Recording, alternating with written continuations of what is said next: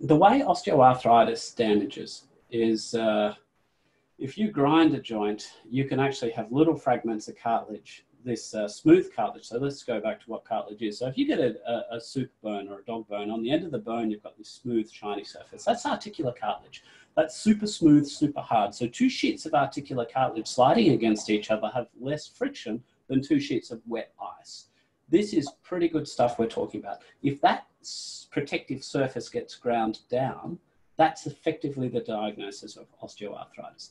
And if you break some of these molecules away, these little particles, um, they will actually inflame the inside of the joint um, in the same way that we traditionally think that gout will, and you'll often get a delayed inflammatory response. So that's um, if people are wanting to know is an exercise bad for them, it's not just whether you get pain during the exercise, but it's whether you get a delayed inflammatory response that will be indicative of having some of this articular cartilage debris coming off.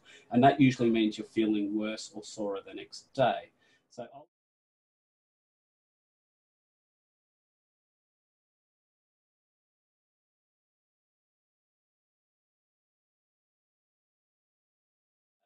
So I'll actually use your morning symptoms waking the next day to titrate your exercise levels. And it might be that you reduce the intensity or you reduce the volume or so on and so forth. And in some athletes, what I've actually done when I've been trying to talk them into retirement, um, like I'll go, these are professional athletes getting paid good money and they really have no other career options. So we tend to push them a little bit harder than we otherwise would. I'll actually stick a needle into the joint after the, the day after the game and get the fluid, and then we'll put them in the centrifuge and spin it down. And we can actually see these cartilage fragments actually collecting at the bottom. And when we send it to the lab, they'll say, yep, that's definitely articular cartilage. If you're in that situation and exercise is doing that to your joint, you should stop that exercise. But in general, you might have resilient articular cartilage that is not being broken down by the exercise. And this is where the concept of mechanotherapy comes in. And basically, mechanotherapy says that when we stress a tissue, the tissue will actually increase in strength so long as we don't overload it.